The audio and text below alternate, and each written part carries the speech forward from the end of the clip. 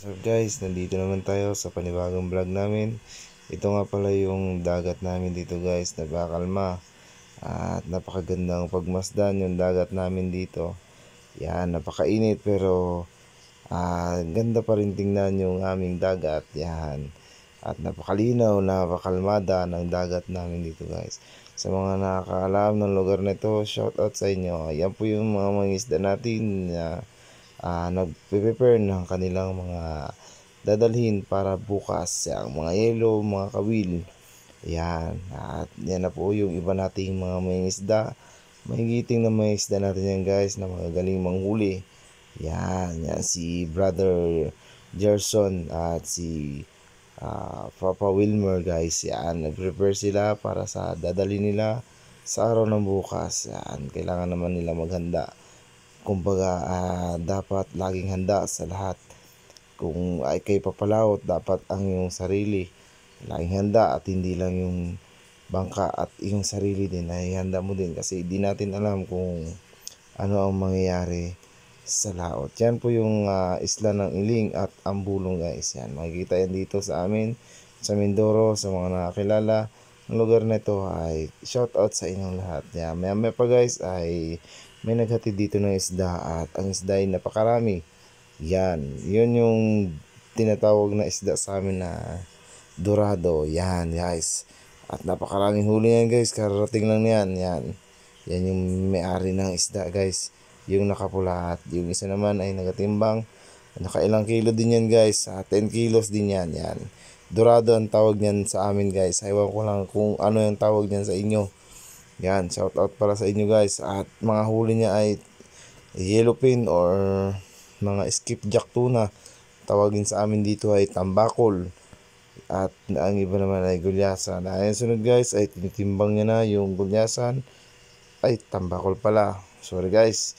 Tambakol muna yung ano. At yan na ilang kilo.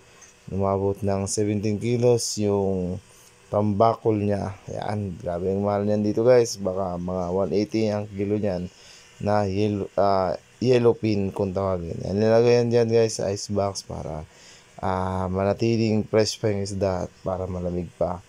Uh, iniisa-isa yan guys para hindi masira yung isda natin. Yan.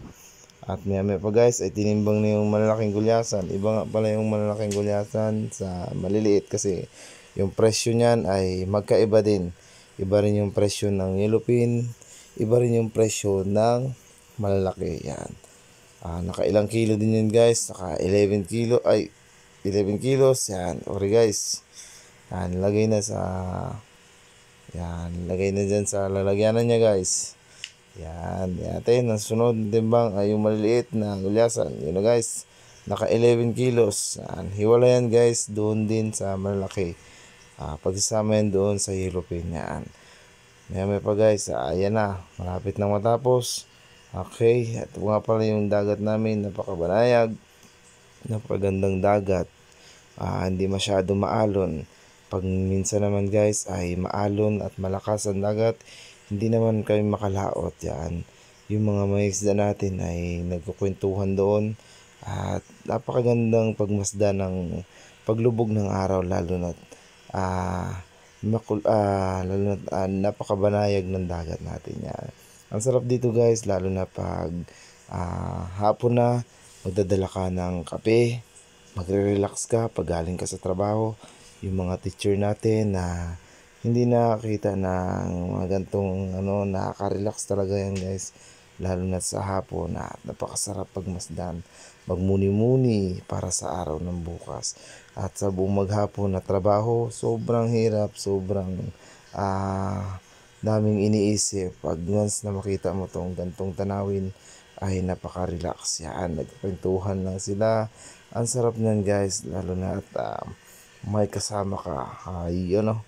Okay guys, uh, sa mga bata naglalaro, uh, sa lahat-lahat guys, shout out sa inyong lahat na mga nanonood. Yan po yung mga isda natin na nagpe-prepare talaga sila guys para sa araw ng bukas.